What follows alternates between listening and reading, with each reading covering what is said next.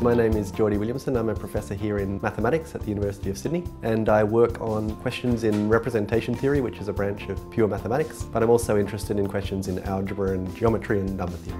I studied a class in second year university on Galois theory that just completely blew me away. Up until that point, mathematics had been formal manipulation of symbols and I didn't find it particularly exciting. However, in Galois theory, I thought I saw an idea that I could never come up with myself and was incredibly beautiful. And I'm still inspired by Galois theory today.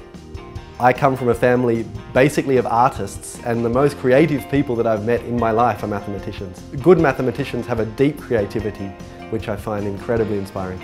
If I have to choose one moment, it's in a, in a shower in Beijing when I had uh, an idea it's the only time in my mathematical career that I've been hit by something like a lightning bolt. I immediately got out of the shower and I forgot to dry myself and I started writing code on a computer to try to check something. There was a belief about a particular structures in representation theory that had been very widely held for 30 years. Basically everybody believed that something was true and I discovered that the full story was much more complicated.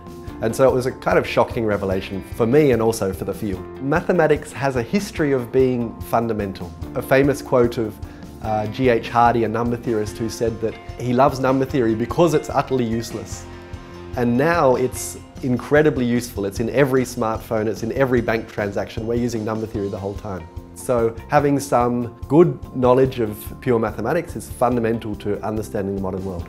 I'm very honoured and also very surprised to be elected to the Australian Academy. Uh, I also have enormous respect for what the Academy does in terms of advocacy and outreach for the sciences and I'm looking forward to contributing to that in the future.